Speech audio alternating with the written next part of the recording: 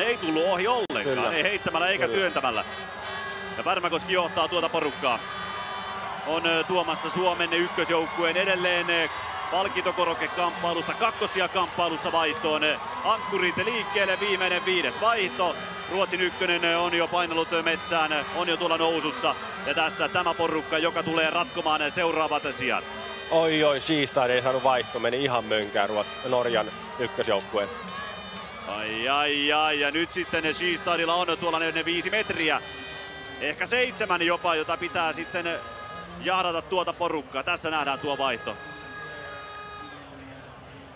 Ja nyt pitää vaan Suomen ykkösjoukkueen Matin talon uskaltaa pitää koko osuus lujaa vaan. Meni ihan tonne vaihtoehdolle loppuun myös Suomen vaihto. Joo. Ei alkaa yhtään pe- miettimään loppukirihommia, vaan nyt pitää vaan hiihtää lujaa mäen päälle. Ei jos Skistad siinä perässä. Toki varmaan pystyy ehkä vähän laskelmoimaan sitä, että ei tuhlaisi pitää ylimääräistä, koska pääasia on hänen kannaltaan, että porukka olisi kiinni siinä, kun lähdetään laskemaan. Kyllä, ja vaikka olisi muutama metri siellä mäen päällä, niin hän on tullut laskun todella lujaa. Ja pystyy sen tasatyöntöosuuden tuolla mäen päällä tulemaan tarvittaessa, jos on tuore, niin erittäin lujaa. Ruotsi ykkönen eh, painelee siis eh, omilla teillään. Saksalla siis Gimler, Suomen ykkösellä Matintalo. Sitten Norjalta, onko siinä kakkosjoukkueen Myhrvold, joka on eh, hyvässä iskussa. Skistad lähestyy myös. Ja Joensuu. Ei ole kaukana. Ei ole, tulee Ei todella, ole todella kaukana. hyvin tulee Joensuukin sieltä. Onko Jasmi Joensuu nostamassa vielä sijoja, mutta hyvin menee Matintalo tuolla mäen päällä. Noin sitä pitää.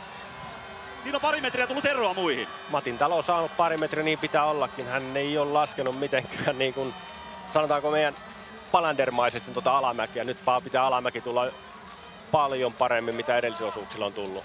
Saa eroa. Tämä on tärkeä, tärkeä juttu. Kyllä on Myhrvoldilla happivajetta. Ja hyvin ne pystyy Gimler seuraamaan siinä, leputtamaan, mutta Suomi on tällä hetkellä kakkosena, kun ankkurit tulossa alas. Enää laskuosuus ja sen jälkeen stadion paketissa, kohti. pakettiin, pakettiin, pakettiin. Paketti on nyt kasassa, nyt ollaan latuurilla. Sitten J-mutka. Kaksi lähestyy, Suomi edelleen kakkosena. Ja nyt Ei pääse Skistad isku etäisyydelle Myhrvold, Gimler. Alas tullaan hyvän näköisesti ja ero säilyy 10 metriä laskussa 15. Suomen hyvä. ei ole paketti maaliin. riittävän hyvä nyt kyykkyyn.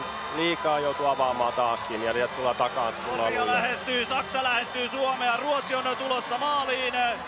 Aikaa on ja 10 metriä Ruotsilla maaliin. Suomella edelleen 15 metrin johto. Kamppailee sijasta numero kaksi. Norja lähestyy, Saksa lähestyy. Ruotsi ykkönen voittaa Sunding Svan. Suomi takakaarteessa edelleen tuossa näette. Saksa ohittaa, Gimler tulee.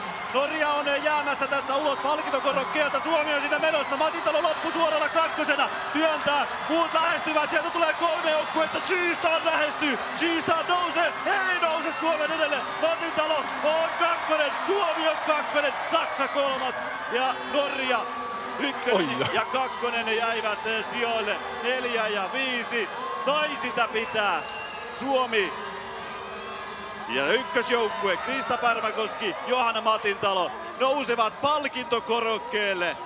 Salpausselän kisoissa saadaan jälleen yksi suomalainen onnistuminen. Ja olihan Kukkulan nousu kerta kaikkiaan tuolla Matintalolla, kun ne paineli ne viimeiset kymmenet metrit. Siinä se ero syntyi ja sitä ei enää saatu pois. Ja tämä on sitä parisprinttiä. Sun pitää tietää omat vahvuudet, missä sinä oot hyvä, missä sinä oot keskinkerta, missä huono.